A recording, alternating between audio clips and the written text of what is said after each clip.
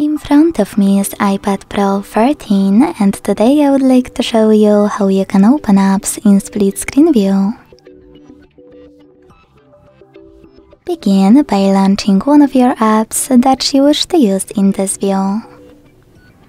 When you're ready, you need to open the dock.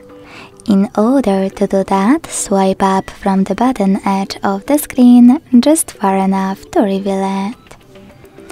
Then select one of those apps, hold the chosen one and drag it to the top right or left corner of your screen.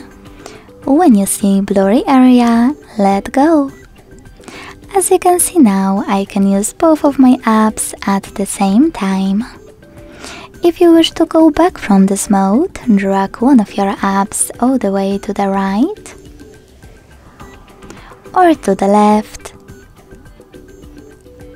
and close the one that's left. You can also just swipe both in the background right away.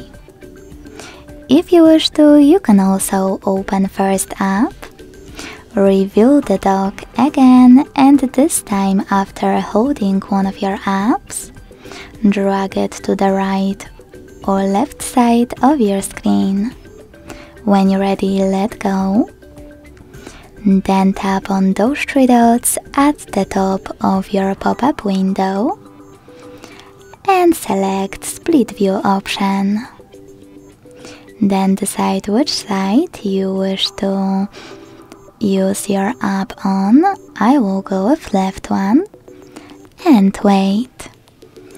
Thanks so much for watching. If you enjoyed this video, leave a like comment and subscribe. Bye!